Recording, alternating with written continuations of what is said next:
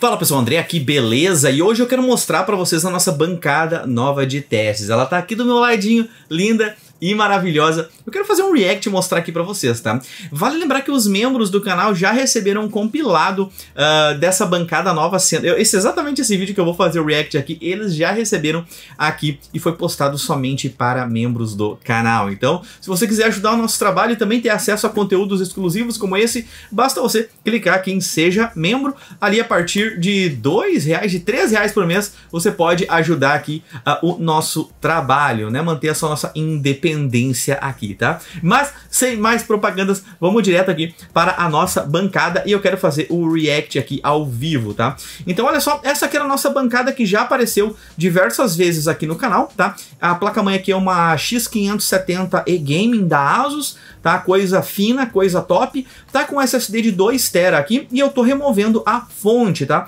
A fonte era uma fonte de 750 watts, que a Cougar me encaminhou já há um certo tempo, tá? E eu vou remover também o CPU Cooler Box, tá? geralmente, cara, assim, se eu não falar que eu tô usando um, um, outro CPU Cooler, um Water Cooler ou algo do tipo, Water Cooler ou algo do tipo, é porque eu tô usando o Cooler Box, tá? Eu faço questão de usar os Coolers Box, tá? Porque representa o cenário mais próximo da realidade de você que vai comprar um computador mais simples possível.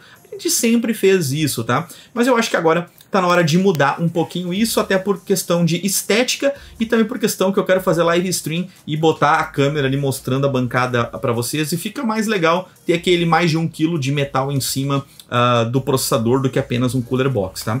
Então aqui eu tô fazendo a instalação da base do Noctua NHD15, essa instalação aqui é bem simples, mas eu não vou mentir para vocês, a primeira vez que eu instalei, eu instalei errado. Eu, em vez de botar essa barriguinha pro lado do processador, eu botei pro lado de fora né? E aí eu tive que regravar essa parte. Então, é, milagres que é a edição. A edição sempre faz a gente parecer mais inteligente do que a gente realmente é. Olhei no manual ali por cima falei, cara, já instalei um milhão de CPUs coolers e peguei e botei. Depois fui ver que tava errado. Tinha que ter prestado atenção. Prestem sempre atenção nos manual aí, nos manuais, principalmente dos CPUs coolers, tá?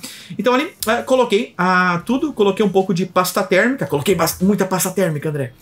E agora eu tô colocando ali um quilinho de metal em cima para fazer a dissipação. Memórias, cara, essa é uma parte que ainda não tá 100% definida. Nesse caso eu coloquei uh, dois pentes de memória, mas eu podia ter colocado quatro, podia ter colocado várias combinações, e eu acho que a memória vai ser uma das coisas que, assim como a placa de vídeo, vai acabar mudando dependendo do teste que a gente for fazer, tá? Mas a princípio entre 16 e 32 GB uh, 3200, tá? Uh, infelizmente não é patrocinado pela HyperX, a HyperX não me manda memória, podia voltar a mandar memória para mim, né?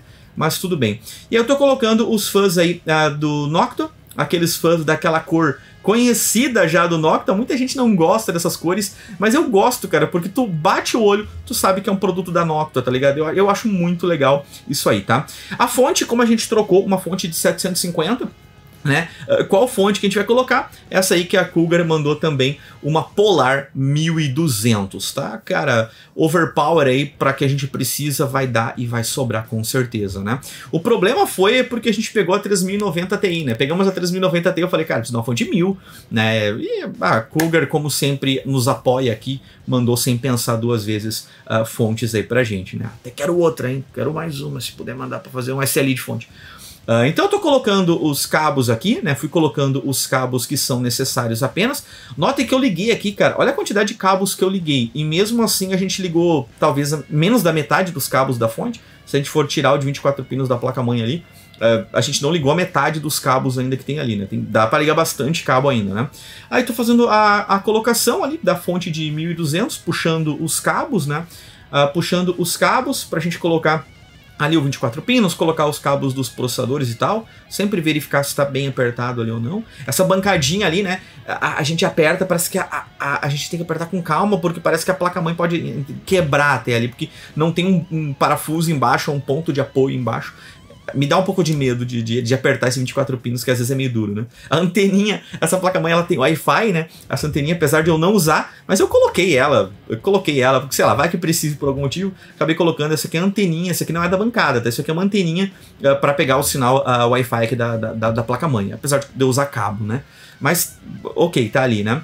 E agora a gente vai colocar uh, o brinquedinho novo, mas, uh, tô botando a 3090 Ti aqui para exemplificar, mas uh, poderia ser qualquer placa de vídeo, né? Poderia ser qualquer realmente placa de vídeo. Aqui ligando o conector, aquele de 12 pinos, aquele conector novo, né? Que a gente liga os três cabos de 8. Então, olha só, aqui se vocês prestarem atenção, ó, vem três cabos de 8 da placa-mãe, e eu tô ligando três cabos de 8 no adaptador, conforme a gente mostrou no unboxing, né?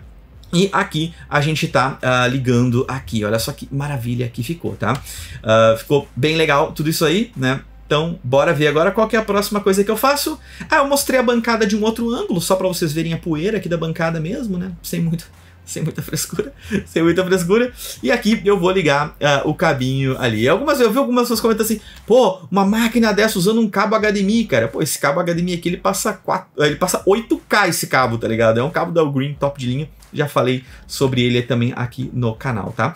Mas, cara, essa era a bancada, a atualização da bancada de testes, tá? Por que que agora eu estou utilizando uh, CPUs coolers uh, diferenciados, tá?